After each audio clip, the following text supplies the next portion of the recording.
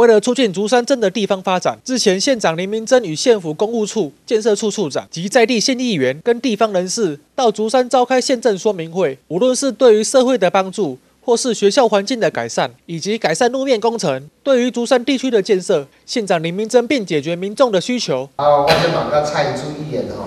要来规划吼，因咱咱咱吼，即摆个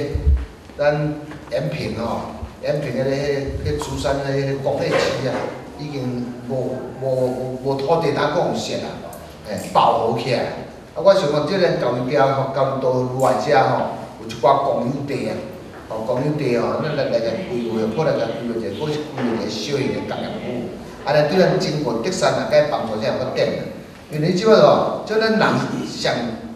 即摆吼，每一项地拢共款啊，上欠欠上，就欠人口。就业人口啊，这重要。议员蔡一柱表示，县长非常认真，这两年为竹山争取一亿三千多万的经费，对于地方是做重大软硬体建设，并期盼县长能针对竹山基础建设，可以给予更多资源，让竹山未来会更好。今仔日咱林明前馆长吼，特别来甲咱德山吼啊举办这个关键的这个说明会，都是针对伊近两年啊对咱德山镇。啊，所做的这不管是软体、甲硬体的重大的建设，啊，来为